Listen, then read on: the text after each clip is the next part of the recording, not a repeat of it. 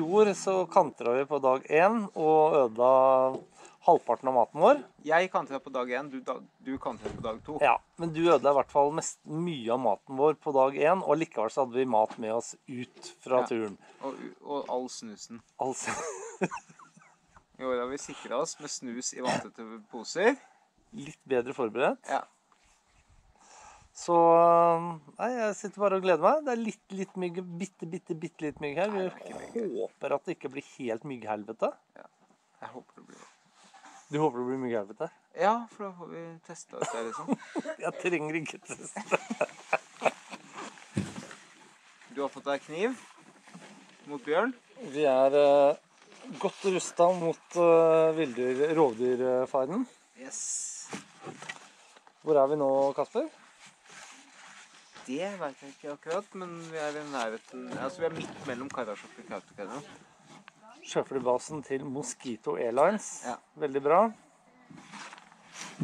Veldig fornøyd med det. Nå kommer flyet.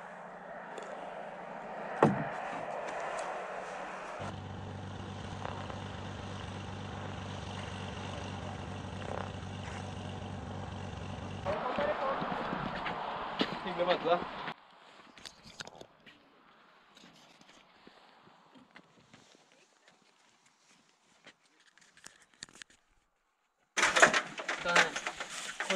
Hva som var her? Det er bare klær. Hæ? Klær. Bare klær. Tunge klær.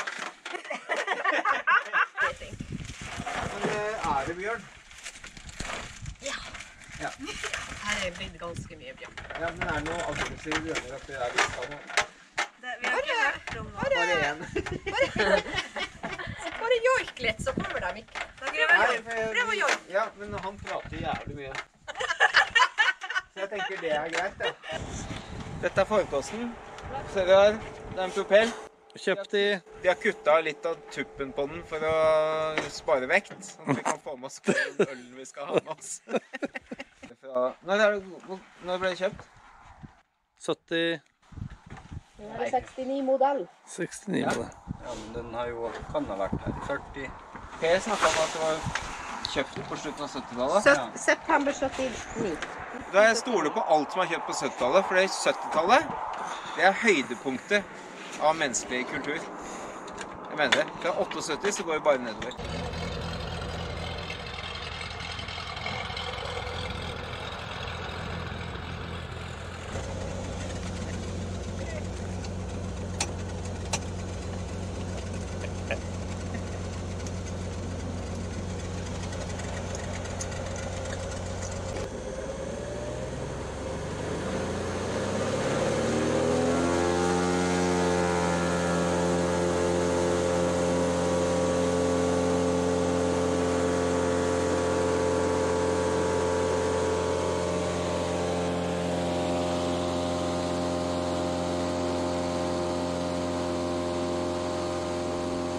Bjørn Erik og jeg er vel kanskje en slags selvoppfyllende profeti. Nemlig hvite menn som pusher 50 og takler midtlivskrisa med å reise på ekspedisjon på vidda. Vi har begynt å se dårlig, og knær og rygg svikter noen ganger totalt. Men vi gir oss ikke. Med riktige medisiner og hjelpemidler så skal det nok gå bra. I år har vi kjøpt oss en tur med de fantastiske folkene i Mosquito Air. Vi skal fly oss langt inn på vidda. Derfra skal vi padle ned til sivilisasjonen og ta buss tilbake til Lakselv. Turen er planlagt ned til minste detalj, på diverse planleggingsmøter gjennom vinteren og prøvetur i mai. Mye utstyr er innkjøpt, og i år skal vi prøve å dokumentere galskapen også. Håper du vil bli med to sure gamle gubber på tur.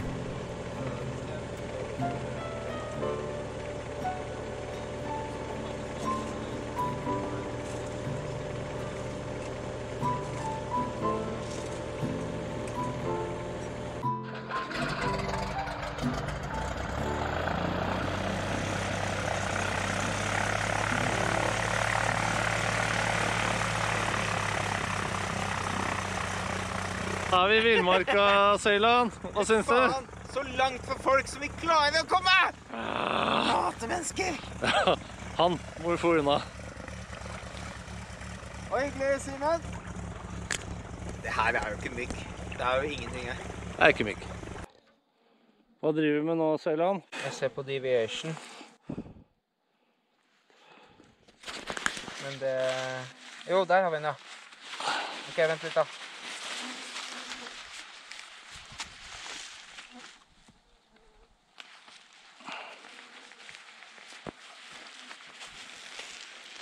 Sånn, ja. Skulle ikke vi padla? Ikke ennå. Ikke ennå, Bjørn. Hvorfor driver vi og går rundt her nå, Kasper, og kikker på kart? Vi må finne veien tilbake til bagasjen vår. Okay. Ja, hva skjedde i går, Bjørn? Ja, først vi fløy med sjøfly. Eh, piloten turte ikke å fly der vi hadde avtalt, som var midt i elva. Han fløy oss til Gansjabri i stedet. Og det var jo bare litt borti hugget der. Så da bestemte vi oss for å gå to turer med bagasjen. Lurt. Ja, var smart. Ikke stresse og sånt. Eh, vi bestemte oss også for ikke ta noen referansepunkter eller eh, marka noe på kartet. eller noe. Så vi begynte med å røre rundt i myra og gå en jævlig omvei for å komme hit. Og når vi kom hit, så skulle vi bare tilbake og til resten, og da visste vi jo hvor vi var. Så gikk vi tilbake, og det var rett bort til Gamsjabri for å finne tingene våre. Slanga alle tinga nedi skauen her. Ja, bare kasta nedi i for Vi visste jo hvor det var. Det var bare å der borte. Tok ikke noe på kartet da? eller? Nei, nei, og vi har jo sånne GPS-tracker og sånt med kart og sånn med på flyfotoen. den brukte vi ikke. Så gikk vi rett til Gamsjabri, det gikk kjempefint. Pakka sekkene, spiste litt mat og skulle gå tilbake. Og i stedet for å gå rett ut skulle da, så gikk vi samme idiotveien vi gikk på tur 1. Gikk forbi det stedet her og hakka ned i myra der i en time. Og var faen meg helt utmattet når vi kom tilbake. Og kom da i seng halv fem på natta. Jeg fikk meg 770 mygg inn i teltet, som eh, jeg kosa meg med å slå i hjel. Så jeg fikk ikke sove. Vi, når vi leita etter bagasjen, så sa kneet mitt stopp. Så da tok jo du, Kasper, og parkerte meg i en stol. Skulle du leite etter bagasjen. I det øyeblikket jeg fikk lent meg tilbake, så kikka jeg til sida, og der lå jo bagasjen. Det var så jævlig bra, for jeg hadde aldri funnet den hvis ikke du hadde sittet i den stolen. Det er bare et tegn. altså Vi må gjøre ting akkurat sånn som vi føler det er best. Ja, når vi kommer eh, setter camp nå, så skal vi være orden. Da skal vi ha flere rom med funksjonalitet. Bad. Toalett. Kjøkken. Rekreasjonsområdet Ja, skal opp tarpen. Det skal være salongen det er salongen. og brygga. Det er der vi har fordøyd uh. Ja. Og der har vi også vanntilgangen. Så vi må, vi, det har jeg veldig lyst på. En enkel tilgang til vann. Det er sånn litt av Altså, ja. Vi, mulig vi må vente, leite litt for å finne den plassen. Men vi gjør heller det litt ned i elva, og så kan vi heller gå opp sånn som det her i Vaderen og fiske. Ja. Det er ikke noe pes der. Vi trenger ikke å være støkk der nede. Vi kan jo gå oppstrøms. Nemlig.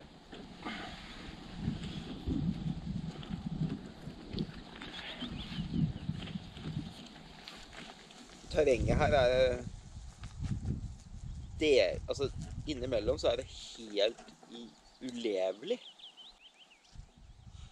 Den der turen i går. Særlig når det var, det var en blanding av vierkratt, småbjørk og myr. Ja.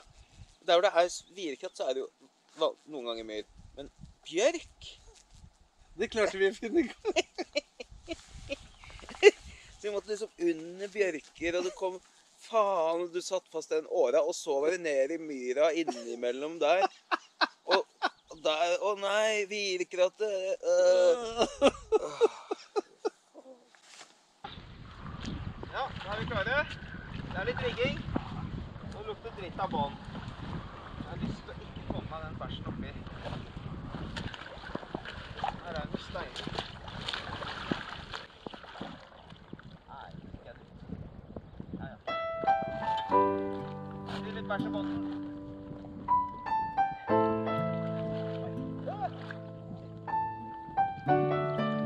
Du har pakka klar borti sivet der. Her ligger den og lurer som gjedda i sivet.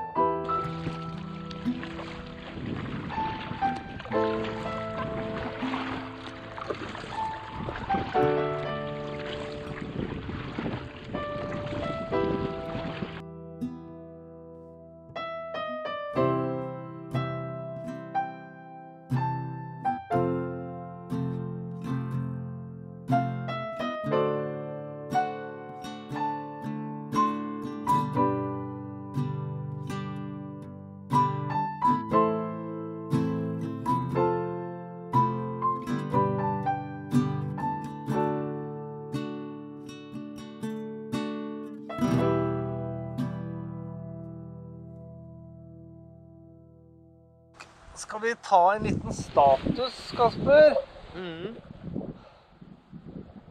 Nå har vi først eh, hadde vi fire-fem timer i myra før vi sovna klokka halv fem. Ja, det var slitsomt. Padla vi, sov vi en time. Padla i fem timer. Det var en fin padle som var sliten. Var fin. En del bassing. Ja.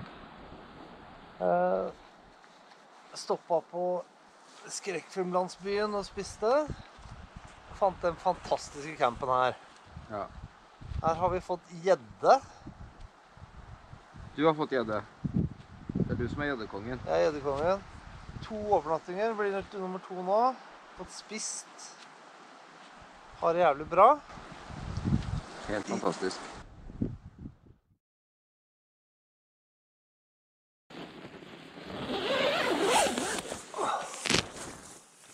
Blir det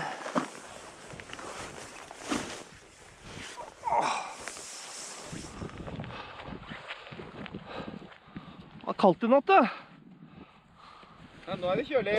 Jeg sov med raggsokker og ullentrøye og frøs på beina i natt. Det var litt deilig. Det er litt linnlig, men det Da passer det veldig bra at jeg må nummer to nå, da. Det var jeg først i dag, så jeg glemte det i går. Jeg har på meg alle flagga i, i sekken. Det er ikke ett flagg igjen.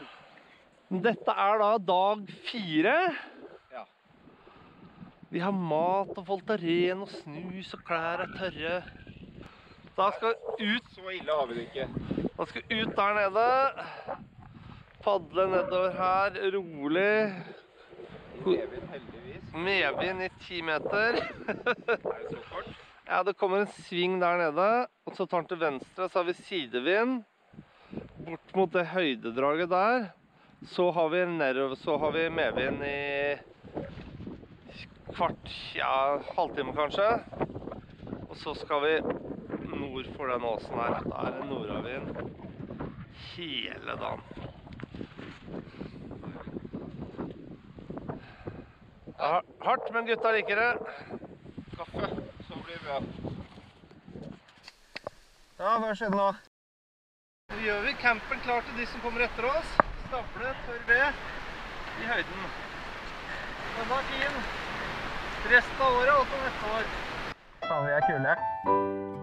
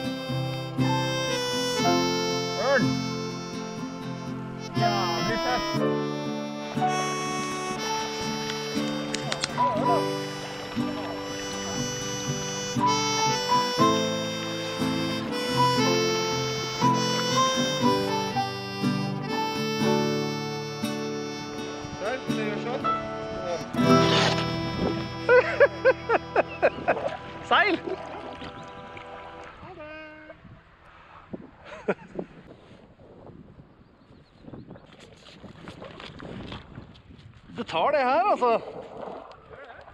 Petter kommer til å bli stolt av oss. Og jeg betaler bota for å drive og skrubbe og legge meg bakover, så jeg har fått litt vann i buksa.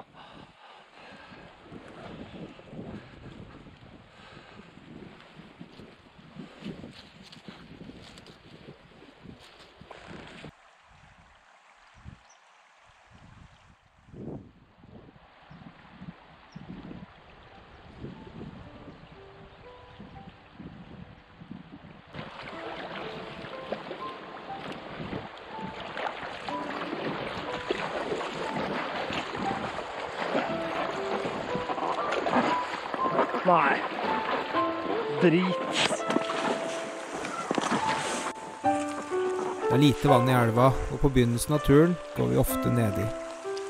Å sitte fast på en stein kan være frustrerende. Du kan gå ut og vasse nedover med båten i hånda, eller du kan sitte og gnukke og gnu.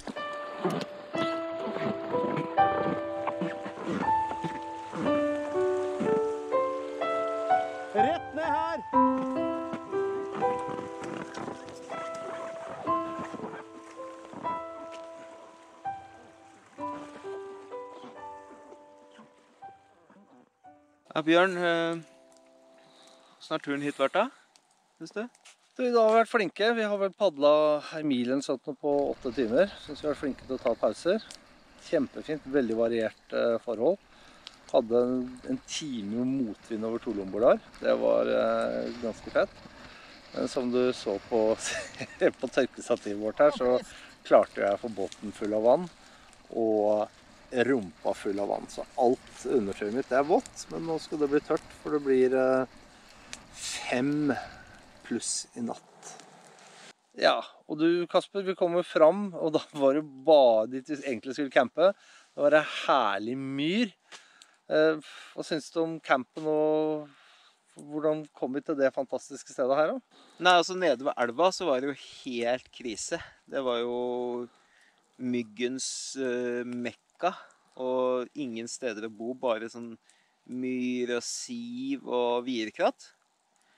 Og kjempa oss gjennom vierkrattet, kom oss opp Ja, der var det noen høyder, og vi gikk opp til de og fant en som var litt høyere enn de andre. og Vi kom opp på den og hadde tenkt å slå oss til der.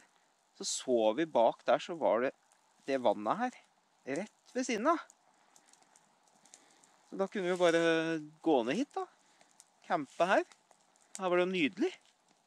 Var en helt annen verden.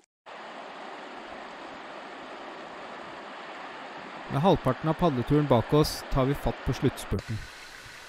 Todagerscampen ved Mini-Andvannet har gjort oss godt, og selv om det kun har blitt gjedde og sik så langt, er det ingen som henger med huet. I så vakre omgivelser er det rett og slett umulig å ikke kose seg gløgg i hjel.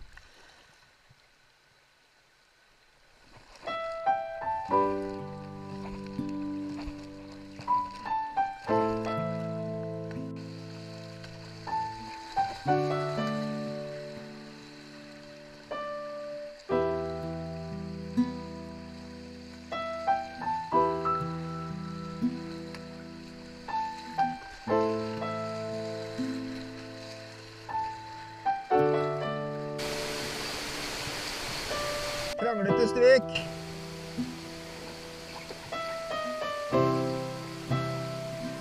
Er det vann nedi båten? Nei. Haupa sprutdekket.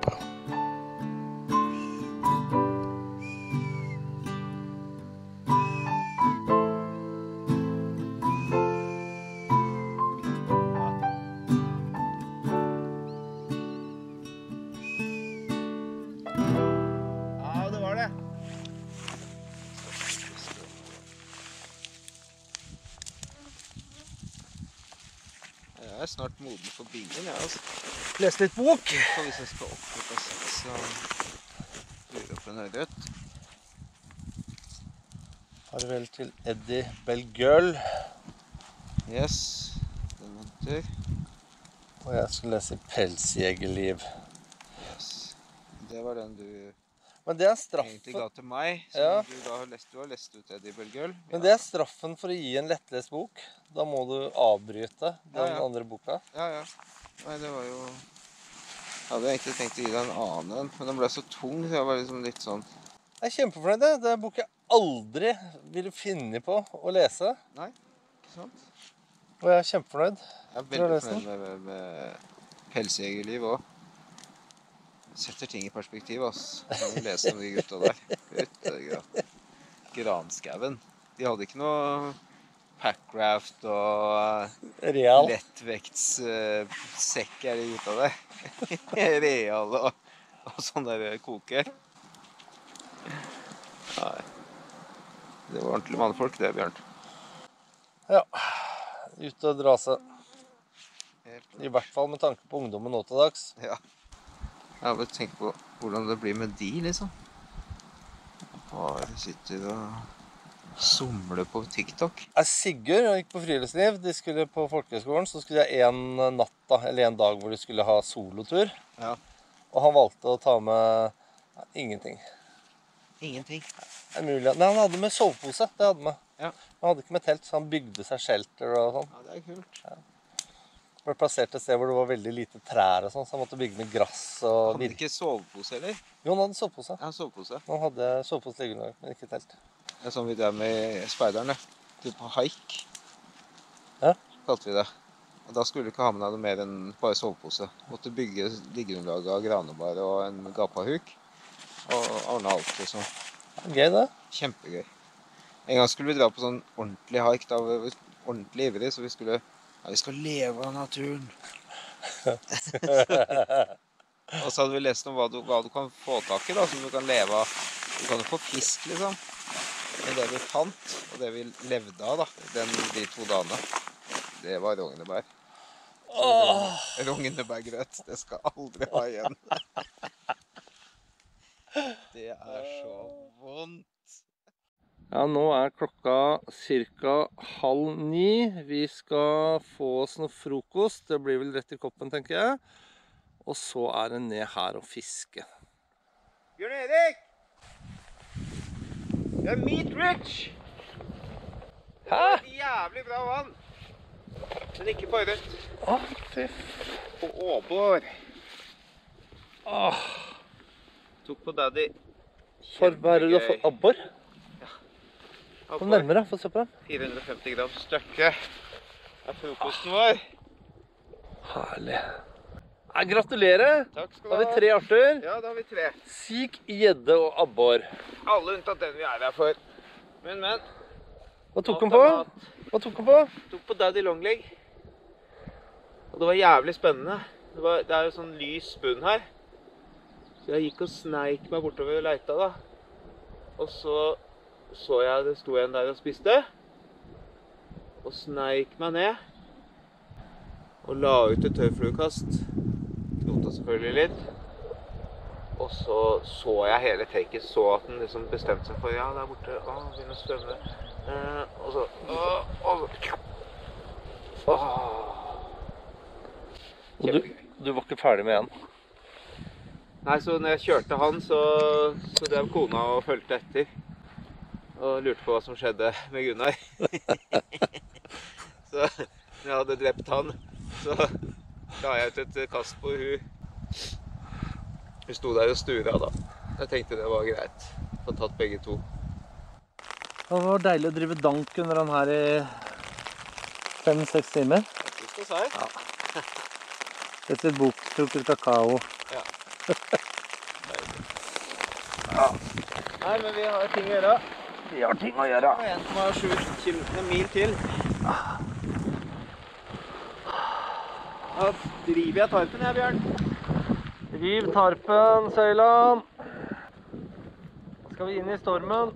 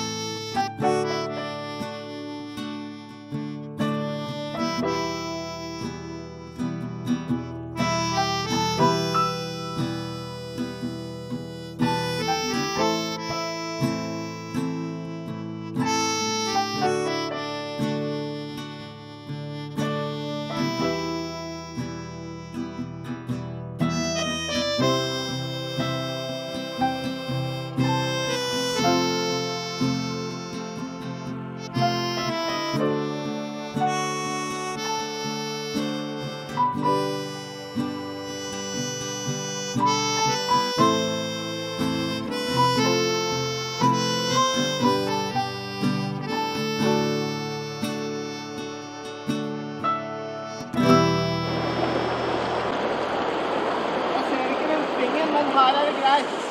Så får vi en liten uh, pust i bakken der inne der nede. Ja, Så strømmen er ikke hardere enn den er i svingen her? Nei, det som er her, det er så jævla bratt. Det er flere etasjer sånn nedover. Ja, dit skal vi ikke. Nei, men der er det greit. OK. Den hardeste strømmen. Og så kommer det en liten uh, Jeg så for meg at det var rett inn i et tre eller et uh, Det er veldig bra å stoppe opp. Andre veien der hadde jo ikke vært noe særlig å komme utfor. Det skal vi ikke. Det skal vi aldri gjøre. Jeg skal filme deg ned, Kasper. Her henger vi i tre! Dette er trygt. vi har på redningsvest. Gjør dette hjemme, barn. Yes.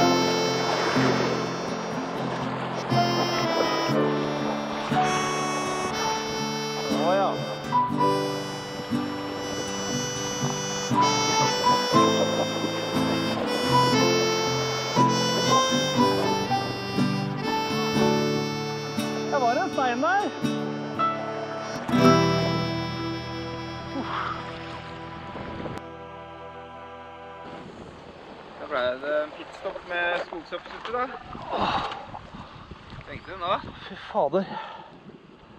Oppi der med all den skrubbinga Jeg mista den ene staven som den, den datt litt ut da, av båten. Ja. Jeg blir så mentalt sliten av de der stryka og skrubbe. At jeg, noe av meg håpa at den bare skulle dette i vannet og forsvinne, så jeg slapp å bry meg om den. Jeg blir så motløs av de greiene der. Så når vi kommer ned her, og det kommer inn elv til, og elva er fin, bra drag og sånn, det er helt himmelsk Det er deilig. kunne padla ti timer til. Jeg. Det her bare fordi Å, endelig sitte i packraft på vann og flyte kontinuerlig. Yeah.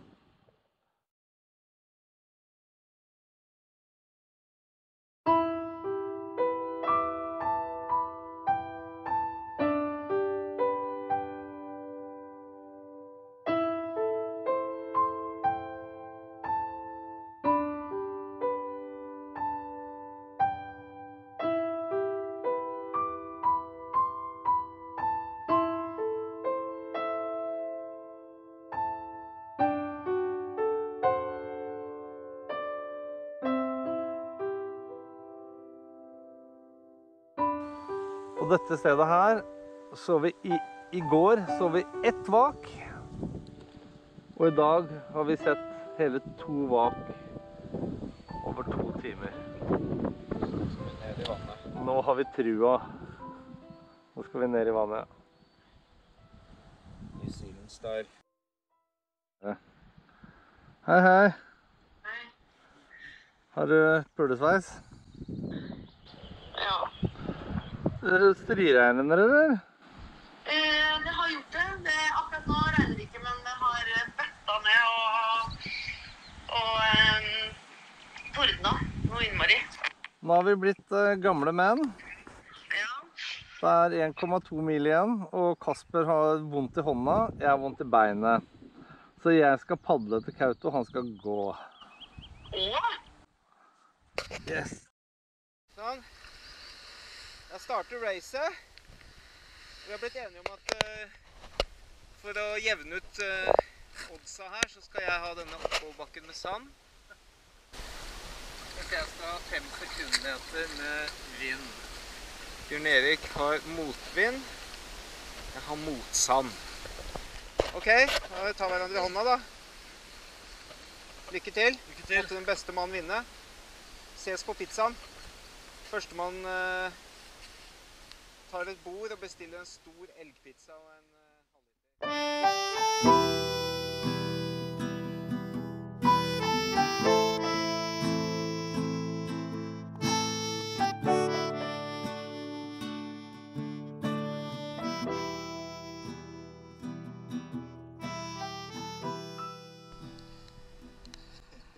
Utrolig nok så kommer Alex forbi, som også er i Finnmark og fisker på denne tiden.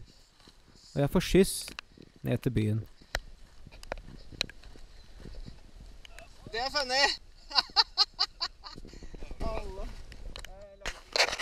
Tusen hjertelig takk. Det var faen meg gull. altså. Nå skal jeg banke Bjørn i, i sporet her. Da tweeter vi videre. Takk. Så ses vi snart. Jeg får jo medfølelse med Bjørn Erik, som padler den siste mila mens jeg koser meg på kafeen med øl. Så jeg bestemmer meg for å dra på butikken og kjøpe noe av de tingene jeg vet han er mest glad i. Nemlig Ringnes øl og superchips.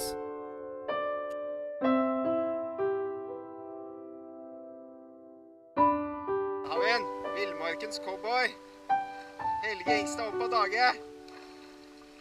Jeg har alle tinga du ønsker deg. Se her.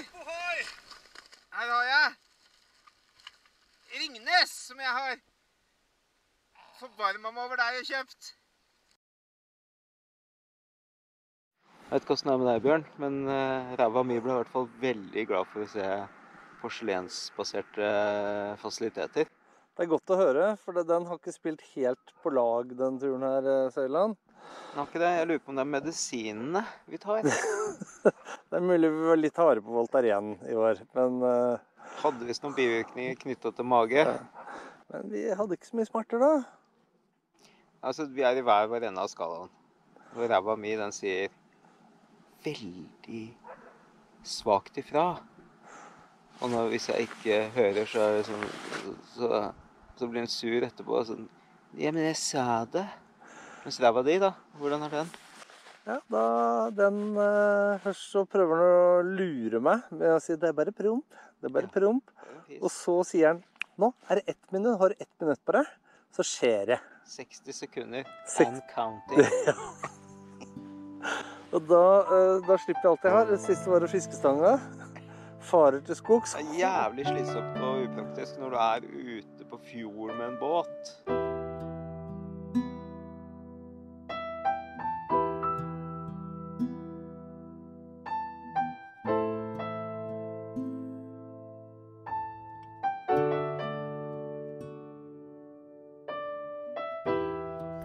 Selv om ekspedisjonen er over, har vi ikke gitt opp å få ørret.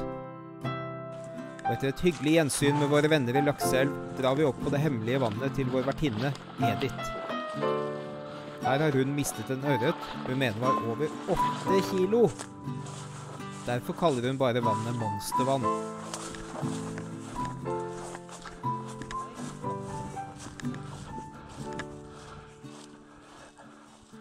Er det kilo, nei?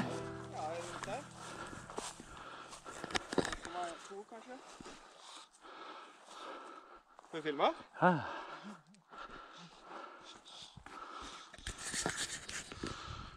Hadde noen litt hopp, så det? Ja, jeg tar den under vannet, under tar den inn.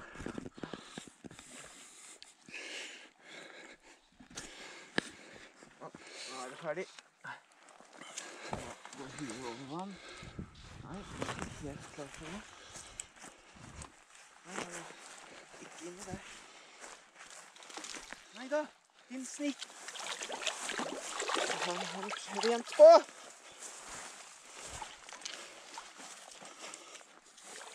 Han har litt rent på. Og vi kommer så rundt i den jævla der.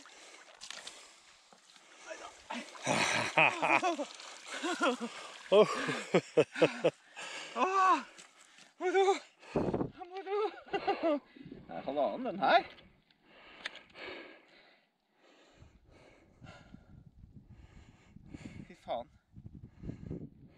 1,8. Få den fram, da. Pen ørret, ass. Den skal på grillen. Den skal grilles i kveld. Sorry, Mac. Slapp deg ut i fjor. Der er tror jeg den samme. Monstervann, ass. Det blir vann til Edith. Leverer igjen.